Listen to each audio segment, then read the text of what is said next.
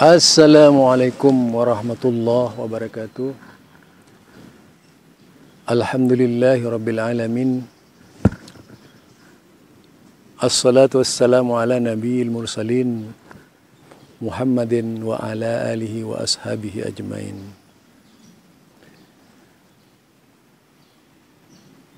Fa inna ahsanal kalami kalamullah wa khairal huda huda Muhammad sallallahu alaihi wasallam wa syarral umuri muhdasatuha fa inna kulla muhdasatin bid'ah wa kulla bid'atin dalala wa kulla dalalatin finnar ini berbicara terkait dengan masalah sunnah fobia. Jadi kita sudah mengenal istilah sunnah fobia tetapi juga ada sunnah fobia ini orang yang takut melaksanakan sunnah dan agar sunnah tidak sama persisnya dengan apa yang dilakukan oleh Rasulullah Sallallahu Alaihi Wasallam. Setiap kali diajak kembali kepada as-sunnah, pasti alasannya perasaan dan tidak sempurna sunnah kalau tidak mengadakan cara-cara tersendiri. Ini yang banyak dilakukan oleh sebagian besar umat Islam ya, terutama di Indonesia kalau kita lihat. Di Indonesia ini orang berbicara sunnah yang dimaksud itu adalah sunnah ulama, bukan sunnah Rasulullah Sallallahu Alaihi Wasallam. Jadi kalau sunnah sunnah kalau yang disebut sunnah pasti itu ulama. Kalau sudah disebut ulama pasti itu sunnah gitu. itu seolah-olah seperti itu. Sama dengan Islam. Islam itu ulama, ulama itu Islam. Nah, tidak ada Islam kalau tanpa ulama. Seolah-olah seperti itu. Padahal mestinya ulama itu alat penyampai. Ulama itu yang menyampaikan Islam agar Islam tidak berubah sesuai yang diinginkan keberadaannya dengan Rasulullah Sallallahu Alaihi Wasallam. Jadi keberadaan Islam dalam konsep ubudiyah dalam konsep i'tiqadiyah atau akidah itu tidak keluar dari akidah Islam. Dari konsep ubudiyah tidak keluar dari konsep ibadah Islam. Artinya ibadahnya itu memang benar-benar ibadah yang datang dari Rasulullah Sallallahu Alaihi Wasallam. Jadi ketaatan kepada Rasulullah lebih diutamakan setelah ketaatan kita kepada Allah Subhanahu wa taala. Setiap yang datang dari luar harus dikritisi dulu dengan sunnah Rasulullah Sallallahu Alaihi Wasallam. Tidak sebaliknya ini karena ada kelompok tertentu ya yang begitu mabuk fikih sehingga oh tidak boleh fikih ini di, dikritisi dengan menggunakan hadis. Wah, itu bisa merusak itu. Ini orang menurut saya lagi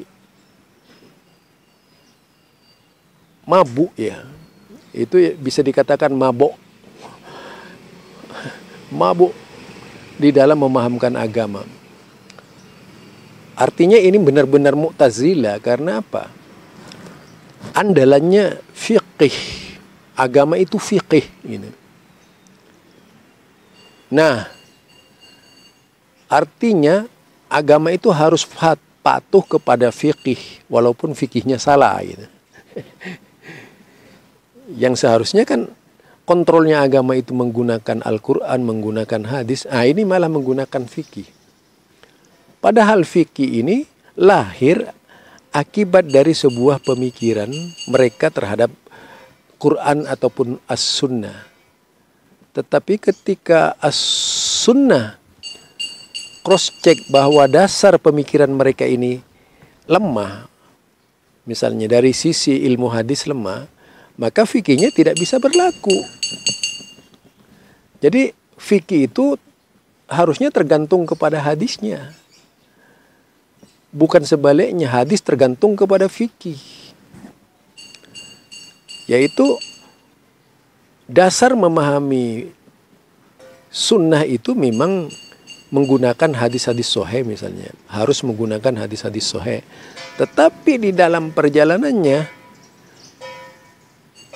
misalnya ada fikih menggunakan hadis-hadis lemah.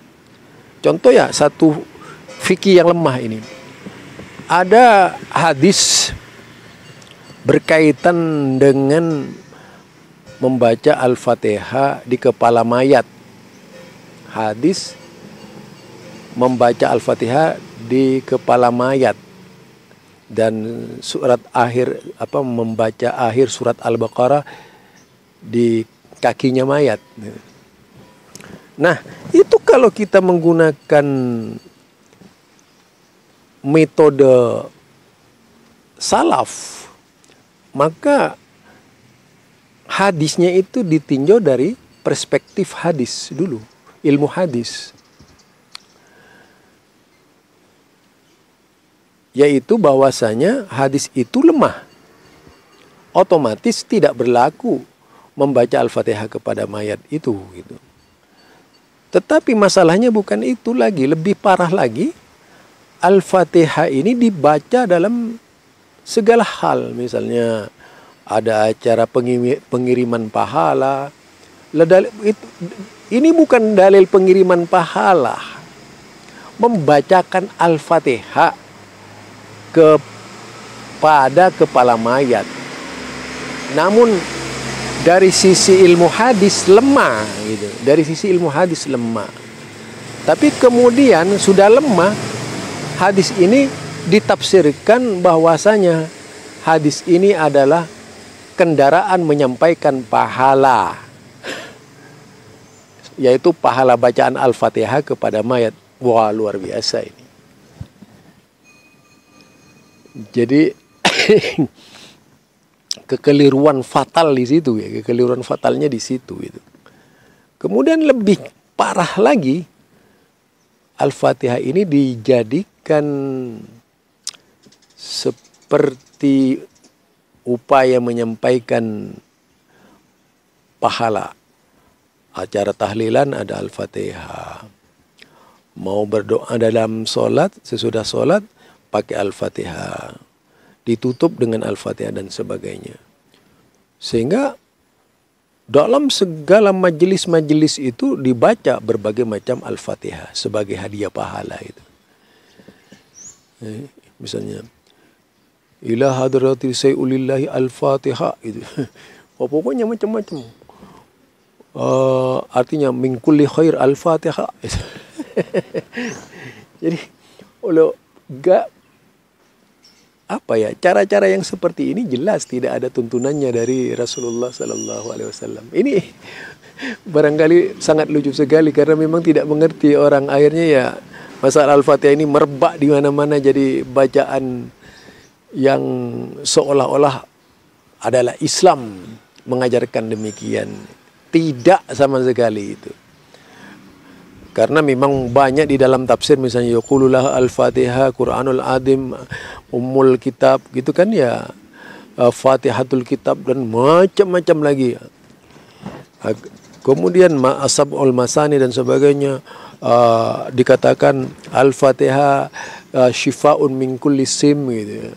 Al-Fatihah adalah obat dari segala penyakit. Akhirnya ditafsirkan yang tidak-tidak jadilah amalan-amalan yang setiap hari dilakukan oleh mereka meskipun melanggar agama. Subhanakallahumma wa bihamdika asyhadu an la ilaha illa anta astaghfiruka wa atubu ilaik.